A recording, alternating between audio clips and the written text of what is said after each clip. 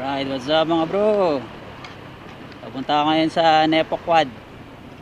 Merong event ngayon yung ano doon. Honda Motor Trade Top Line. So meron silang free test ride ng Honda ADV. Mabalak din kasi namin na mag-upgrade na ng motor. So itong Beat, yan, upgrade na kami siguro ADV. So, mas maganda kung magkaroon tayo ng first hand experience kung okay ba siya. Although marami naman na nag-review nitong ano Honda ADV syempre iba pa rin yung ikaw mismo yung makaka-try. So dito yung Nepo Quad. Magpas tayo. Ikot yata tayo. Alamin ko muna ako sa nagpa-park so balikan ko kayo. Ah ito pala. Magpas tayo. Ah ito. Tanong tayo dito.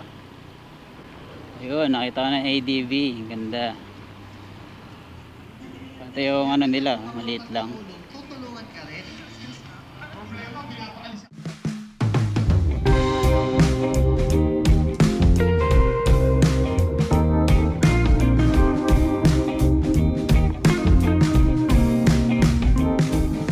Wala ko lang Gusto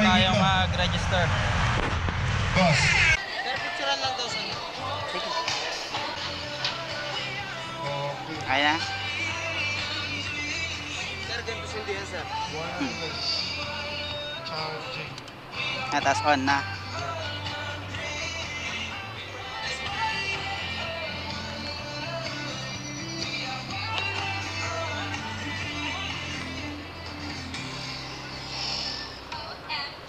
Wala. right test ride na tayo ng ADV ah pag ganun siya sakto lang pala yung taas niya no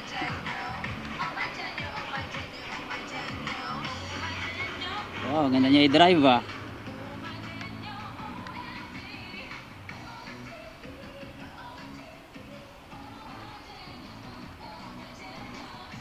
medyo mataas pero okay lang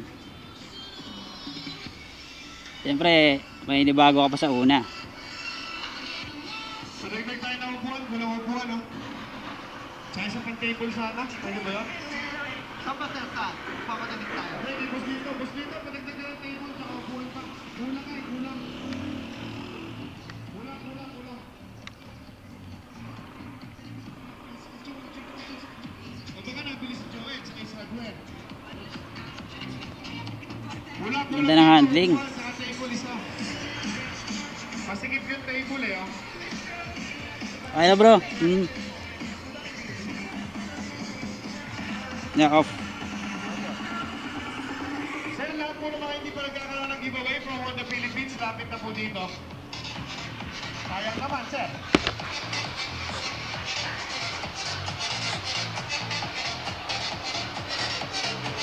Ganda ng handling niya.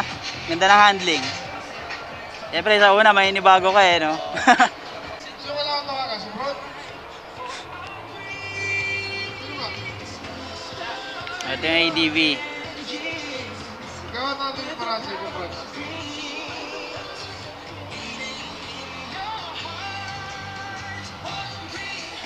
Pogi oh.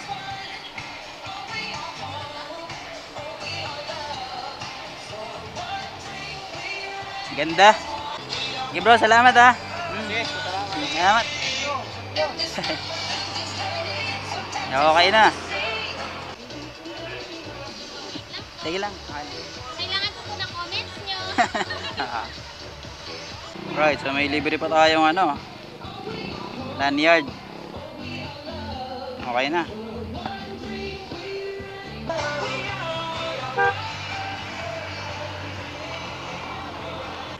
Alright, tapos na tayo mag-test ride.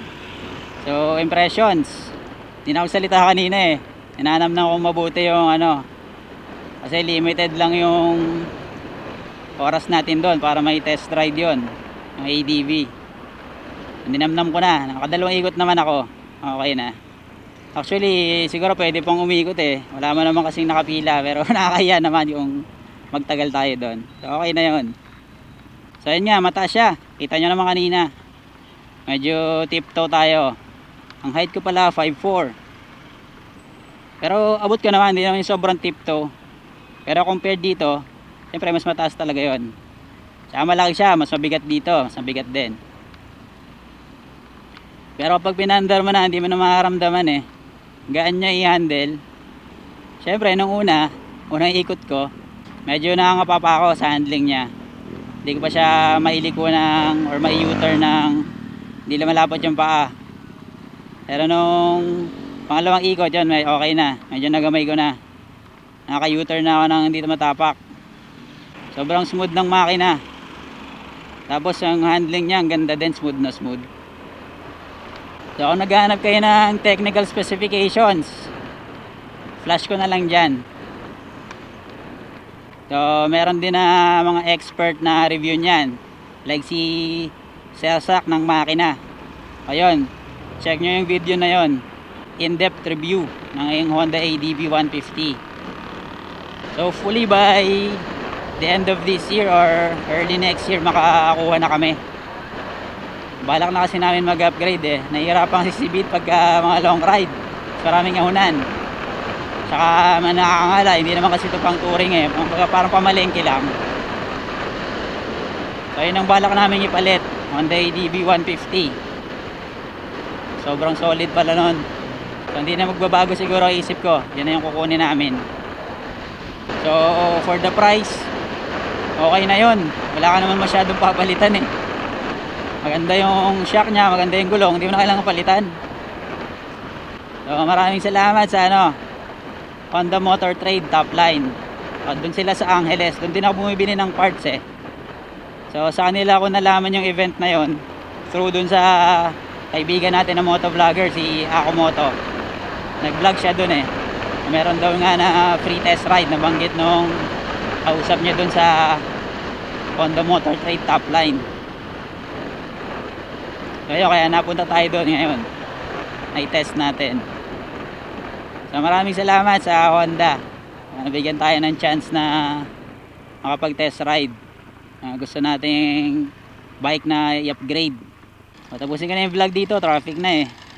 Ayun lang mga bro, ride safe.